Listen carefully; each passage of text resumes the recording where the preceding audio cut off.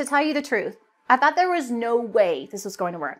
I have to say that this was the first time I was actually happy to be wrong. The thing is, I've been a bit heavy for most of my life, and for as long as I can remember, I really tried to lose the extra weight. Low carb, paleo, Atkins, vegan, gluten free, I was on them all. But none really ever helped me shed the pounds and keep them off for good. And it didn't help that my friends who were on the very same plans actually saw results too.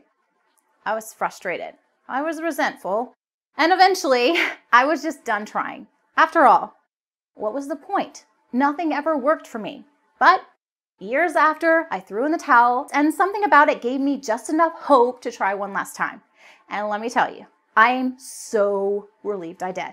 Because after decades of not responding to literally hundreds of different diets, I finally found something that actually works. I dropped 10 pounds in the first two weeks alone, and I'm down 27 pounds total. And best of all, I've never been on a simpler, tastier plan in my life. It's easy to follow, clearly laid out, and was never, ever a hassle. Plus, I wasn't always starving like the other plans I'd been on. In fact, it didn't even feel like I was dieting at all.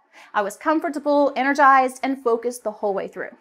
This is the thinnest and happiest I've felt in years. But more than anything else, I'm just so excited that I finally found a program that actually works.